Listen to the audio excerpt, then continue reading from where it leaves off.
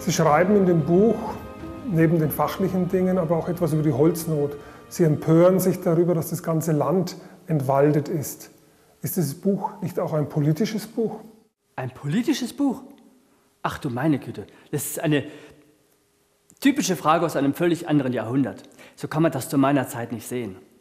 Natürlich habe ich mich über die Verschwendung und den Raubbau am Wald empört und geärgert. Natürlich habe ich Lösungen vorgeschlagen. Aber Politik machte zu meiner Zeit der Kurfürst und König allein. Da musste man ganz vorsichtig sein.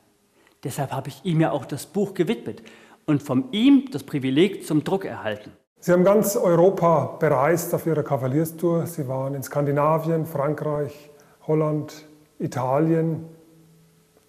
Was hat Sie auf dieser Reise geprägt und was haben Sie von dieser Reise mitgebracht? Ja, in der Tat. Ich bin viel herumgekommen, habe überall lernen dürfen und habe viel gesehen. Es ist das Lernen, die Offenheit für Neues und das Forschen, das mich geprägt hat.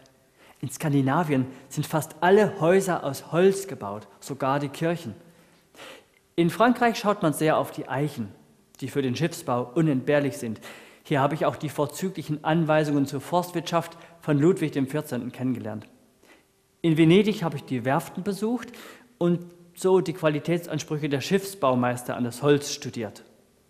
Herr von Kalowitz, ist das Problem zu Ihrer Zeit vergleichbar mit dem Problem, das wir heute haben?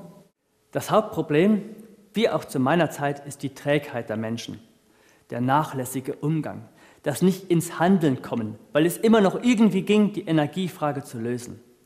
Erst wenn die Not so groß ist, dass dem Menschen das Wasser bis ins Maul steht, dann besinnt er sich und verändert sein Verhalten. Vorher nicht, leider.